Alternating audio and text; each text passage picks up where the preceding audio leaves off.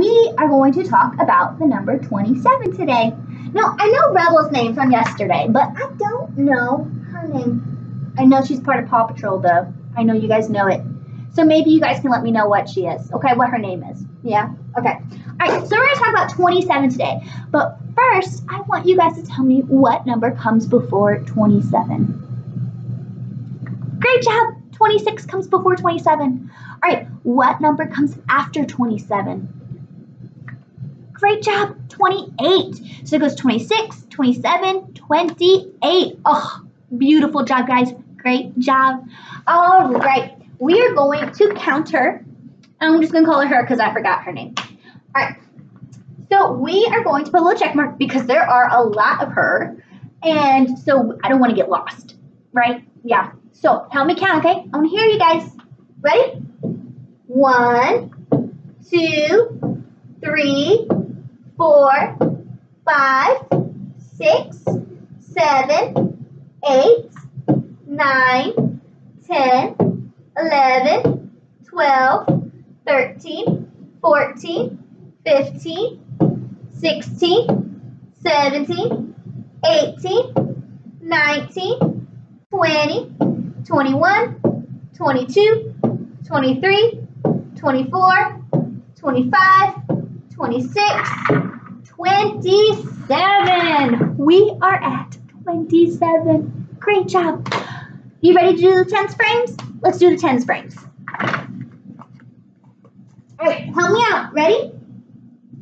One, two, three, four, five, six, seven, eight, nine, ten, eleven, twelve, thirteen, fourteen, fifteen, sixteen, seventeen, eighteen, nineteen, twenty, twenty-one.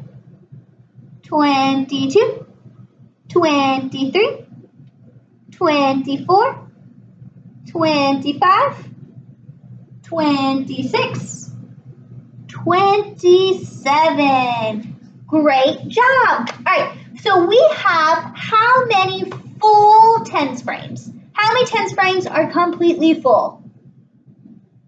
Great job, two. Two tens frames are completely full. Let's count them, okay? When we count them, are we to count by ones, fives, twos? No. We're to count by tens. All right. So help me count by tens. Ready? 10, 20. Great job. We have two tens frames that are completely full. So what number is going to go into the tens place? Great job. A 2. So I'm going to write a 2 right here in my tens place. All right.